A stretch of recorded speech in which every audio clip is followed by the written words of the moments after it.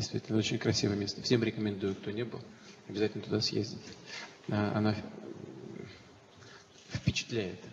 Да, и, конечно, в нее не мудрено влюбиться, потому что там это уникальное место. Очень много, конечно, нужно сделать для развития инфраструктуры. Что касается э, внутреннего ту- туризма, то здесь очень много принято уже решений, в том числе и, э, и льгота по налогам, по НДС. По-моему, с 1, с 1 июля там у нас НДС отменяется для некоторых видов деятельности по этому направлению. Поэтому для, для Камчатки это важно. Ну и, и льготное кредитование для тех, кто э, возводит, э, возводит э, соответствующие объекты туристической инфраструктуры.